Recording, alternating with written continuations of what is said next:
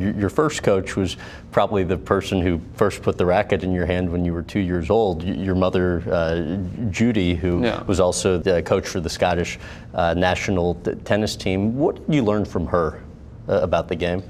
Um, the most important thing that my mum kind of did with me and my brother when we were growing up was that she made it fun. Um, I think in an individual sport it's very important for kids uh, to enjoy it.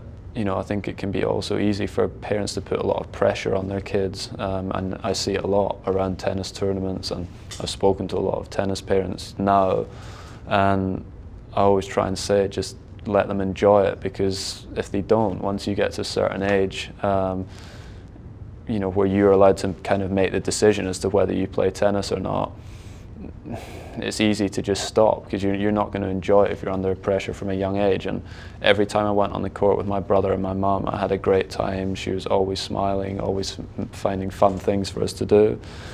And it made a big difference. There was no pressure on us ever to play. Me and my brother at certain times, I stopped to play um, football or soccer for, you know, four or five weeks and not hit a tennis ball. And it was never like, you, you must play tennis, this is the only thing you could do. And with my brother, the same thing happened with golf. He, he stopped playing tennis for three, four months at a time and was just playing golf. So she was just very encouraging and, um, you know, made it, made it good fun. You wrote in your autobiography, uh, quote, my whole tennis career happened because when I was growing up, my brother was much better than me at, at most things. Uh, explain how you think that impacted you. Well, my brother is 15 months older than me, and we pretty much started playing tennis at the same time. And we do, because we're so close in age, we would literally play all sports together.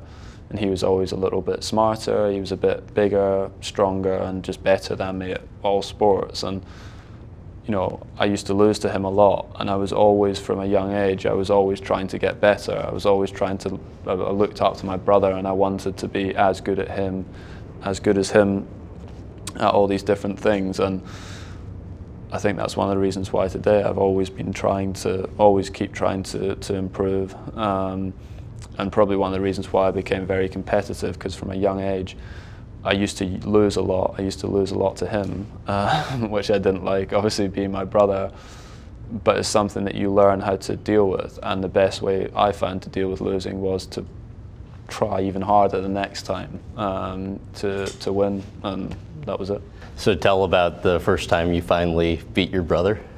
Yeah, I, I remember the Uh, first can time. we see the fingernail too? Yeah, you can. Well, I don't know if you can see it there. It's that one. It's kind of still. you can yeah, see sure. it's, it's broken Right. here. Yeah, it's never grown back properly because yeah, when I beat him, uh, we played in a tournament in Solihull, and we sat next to each other on the minibus on the way back, which probably a mistake from my my mum letting us do that. She would have known what was going to happen, and I was obviously winding him up um, that I'd beaten him um, for the first time, and he punched me on the finger. Uh, and yeah, when we got off at the, the service station, my finger had turned completely blue, and yeah, lost lost my fingernail, which I wasn't that disappointed with, but something I always remember because I see it every single day. It was never grown back properly.